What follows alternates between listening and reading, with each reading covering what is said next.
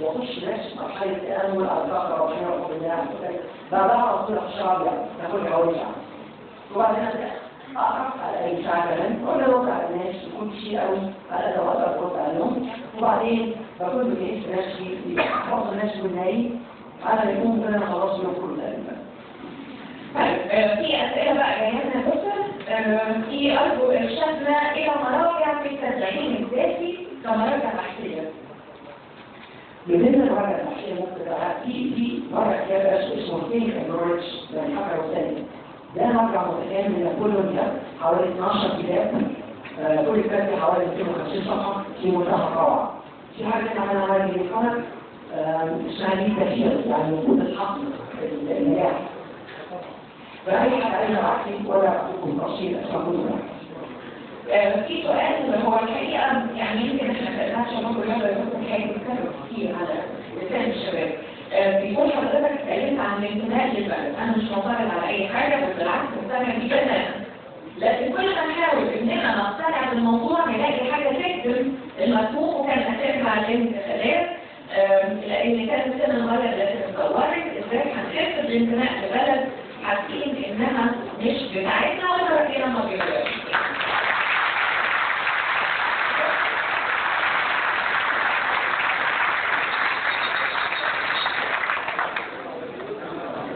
سؤال حلو وأنا قبائل الوضع في الجزيره وكان حوالي 1000 مليون برنامج في العالم لا برد على الاسئله اللي فيها سياسه ولا اسئله دين أنا راجل تخصص فنان شديد كلمني فنان شديد أنا بالنسبة لي 24 تحدث تحت السؤال ده لكن أنا أقول لك حاجة افصل بينك وبين السلوكيات وافصل بين القيمه وبين السلوكيات انتباه الاساس رايك تحدث فلا تتماشى الاثنين في بعض أنا مش مدرب مدرب في الشباب يراعي في افكار في حوار في كلام ده الرسوم لو كنا عاوزين الحاجة هتقلل بس الاخلاق وتقلل الشيء هنا شرع ثاني ولا الحاجات الاثنين متواصل مع بعض أنا من البلد مصر ما فيها كشف على حديثنا ونشوف تنافس لكن حصلك حاجة بنرجع تاني لا دي خلاص فافصل بين القيمه وبين الاسلوب الغلط القيمة تبقى قوية دايما القيمة طبعا بالله لو لا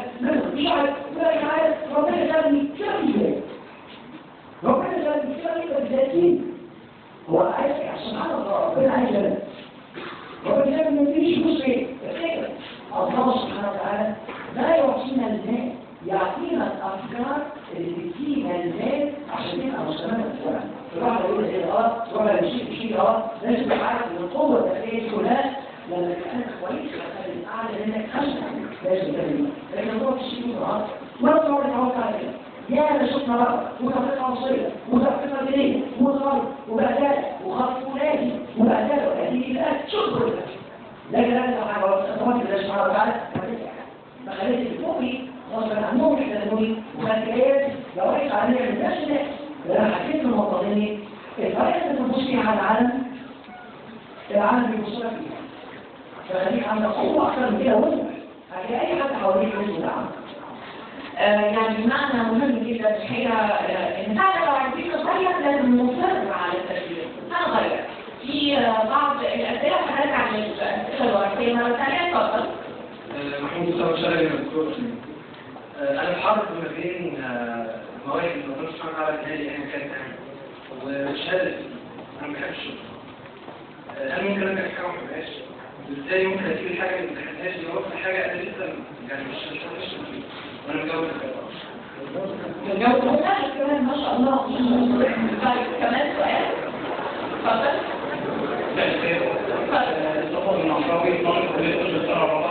هو الدكتور حضرتك اتكلمت عن الأحلام وإن أنا أحط نظري حلم أو أحلام كبيرة بس في أحلام لو جيت أحققها ممكن أخسر حاجات كتير ممكن أخسر فلوس ممكن أخسر ريليشن مش عارف جواز أو اختلاط يحصل مع الناس أعمل إيه؟ السلام عليكم طبعا هو مصطفى في طبعا أنا وقت كتير يعني أنا بقول كده أنا كتير هو في آخر يوم مش عارف هو ليه كنت عارف استفدت من نفسي ألاقي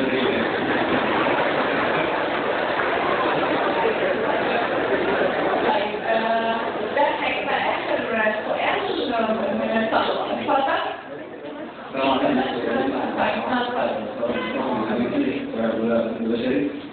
حضرتك كان دايما بيقول عمر يعني برضه بما اننا سنه اولى يعني فده معروف في أي كلية بيكون دايما مشتت.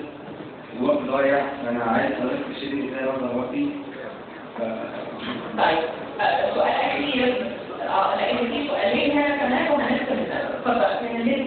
من عايزين ناخد الخمسة كنت حضرتك الأول. كنت على الطبيعي حضرتك كنا جميل جدا آه، حضرتك اتكلمت عن الغلطات الصغيرة في حياتنا اللي إحنا صغيرة وبعد كده ممكن نعمل حاجات كبيرة بس في حاجات حياتنا إحنا بنعملها بس غصب عننا مش بنقدر نتخلى عنها. ساعات بتيجي أوقات إن هي كانت تصح الضمير يعني تعذيب وكده آه، بنوقفها؟ إزاي بقى نجيب باور ان إحنا ما نرجعش ليها تاني لا شكرا شكرا آه، هو كان أول سؤال اللي مش حابب شغلك اللي هو دكتور الأسنان. تفتكر لما أنت بتشتغل في حاجة مش حاببها انت فتش على حاجة تحبها فيها لما تكون رائع هذا تكون مثلا مش حاجة ما تحبهاش هتبقى من أكثر الناس الفنانين في العالم لما تعمل حاجة بتحبها وطبعا انت عارف لما ما بتحبش حاجة كل ما تروح حتة هتلاقي حاجة ما بتحبهاش برضه. الشغل دي فلازم تنظف نفسك داخليا وتركز على تركز فيها الشغلانه ركز على الكويس اللي فيها وتعلم منها. خليك متميز فيها. خليك متميز جواك. مش الشغلانه أنت متميز أي حاجة. لما تفوز منها. طب كان في سؤال عن الوقت وإنه مش ما بيعرفش ينظم وقت عشان تنظم وقتك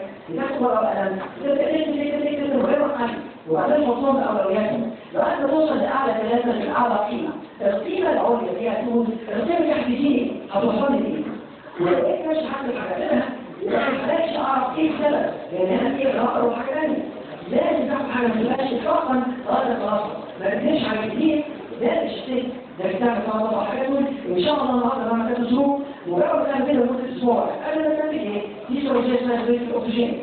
غلط اهي شوف نفسك مناطق صعب وانت متاكد على ورق حافظ على الوقت بتاعك. هتلاقي تعمل على خلال أسبوع.